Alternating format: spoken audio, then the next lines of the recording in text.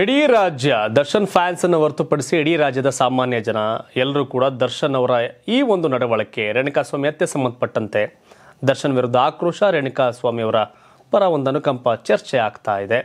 ಈ ನಡುವೆ ನಟಿ ಮಾತ್ರ ದರ್ಶನ್ ಅವರ ಸಮರ್ಥನೆ ಮಾಡ್ಕೊಂಡು ಮಾತನಾಡಿದ್ದಾರೆ. ಕೆಲವೇ ಮಂದಿ ದರ್ಶನ್ ಅವರನ್ನ ಸಮರ್ಥನೆ ಮಾಡ್ಕೋತಿರೋದು ಅವರ ಫ್ಯಾನ್ಸ್ ಅನ್ನು ಹೊರತುಪಡಿಸಿದ್ರೆ.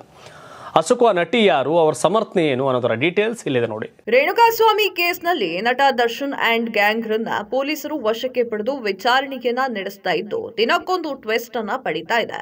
ಈ ಮಧ್ಯೆ ದರ್ಶನ್ ಪರ ಕಿರುತೆರೆಯ ನಟಿ ಅನುಷಾ ರೈ ತಮ್ಮ ಅಭಿಪ್ರಾಯವನ್ನ ಹಂಚಿಕೊಂಡಿದ್ದಾರೆ.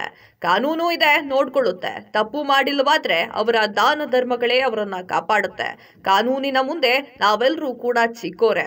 ಸದ್ಯಕ್ಕಿನ್ನೂ ಆರೋಪಿಗಳಷ್ಟೇ ಅಪರಾಧಿಯಾಗಿಲ್ಲ. ಮುಂದೆ ಕಾದು ನೋಡೋಣ ಅಂತ ಬರೆದುಕೊಂಡಿದ್ದಾರೆ. ನಟಿ ಅನುಷಾ ರೈ ಇನ್ಸ್ಟಾಗ್ರಾಂನಲ್ಲಿ ಬರೆದಿದ್ದನ್ನ ನೋಡೋದಾದ್ರೆ, ಅಭಿಮಾನಿಗಳು ನನಗೆ ವರ್ಷದ ಮುನ್ನೂರ ಅರವತ್ತೈದು ದಿನವೂ ಊಟವನ್ನ ಹಾಕ್ತಾರೆ. ಆದ್ರೆ ನಾನು ಹುಟ್ಟು ಹಬ್ಬದ ಒಂದು ದಿನ ಮಾತ್ರ ಅವರಿಗೆ ಊಟವನ್ನ ಹಾಕ್ತೀನಿ ಅಂತ ದರ್ಶನ್ ಅವರು ಹೇಳ್ತಾ ಇದ್ರು. ಮೈ ಮೇಲೆ ಇತರರು ನನ್ನ ಹೆಸರನ್ನ ಅಚ್ಚೆ ಹಾಕಿಸ್ಕೊಳ್ಬೇಡಿ.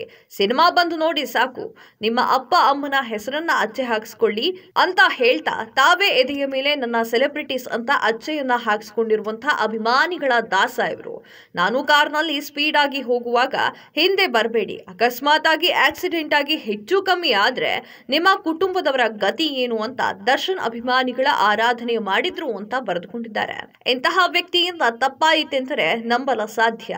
ಅದೇನೇ ಆದ್ರೂ ಕಾನೂನು ಇದೆ ನೋಡ್ಕೊಳ್ಳುತ್ತೆ. ತಪ್ಪು ಮಾಡಿಲ್ವಾದ್ರೆ ಅವರ ದಾನ ಧರ್ಮಗಳೇ ಅವರನ್ನ ಕಾಪಾಡುತ್ತೆ. ಕಾನೂನಿನ ಮುಂದೆ ನಾವೆಲ್ಲರೂ ಕೂಡ ಚಿಕ್ಕೋರೆ. ಸದ್ಯಕ್ಕಿನ್ನೂ ಆರೋಪಿಗಳಷ್ಟೇ ಅಪರಾಧಿಯಾಗಿಲ್ಲ. ಮುಂದೆ ಕಾದ್ ನೋಡೋಣ. ಇನ್ನು ಈ ಅನಾಹುತಕ್ಕೆ ಬಲಿಯಾದ ರೇಣುಕಾ ಸ್ವಾಮಿ ಅವರ ಕುಟುಂಬಕ್ಕೂ ಆ ದೇವರು ದುಃಖವನ್ನ ಭರಿಸುವಂತಹ ಶಕ್ತಿ ನೀಡಲಿ. ಅವರು ಮಾಡಿದ್ದು ಸಹ ತಪ್ಪೆ. ಆದ್ರೂ ಈ ರೀತಿ ಶಿಕ್ಷೆ ಸರಿಯಲ್ಲ. ಕಾನೂನಿನ ಪ್ರಕಾರ ರೇಣುಕಾ ಸ್ವಾಮಿಗೆ ಶಿಕ್ಷೆ ಕೊಡಿಸೋ ಬದಲು ಯಾರೋ ಜೀವ ತೆಗೆದಿದ್ದು ಅಕ್ಷಮ್ಯ ಅಪರಾಧ.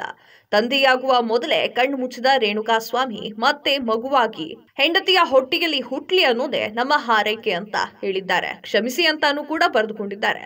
ಈ ಪ್ರಕರಣದಲ್ಲಿ ದರ್ಶನ್ ಕುಟುಂಬಕ್ಕೆ ಶಾಪ ಹಾಕಿದರೆ ಪ್ರಯೋಜನ ಆದ್ರೂ ಏನು?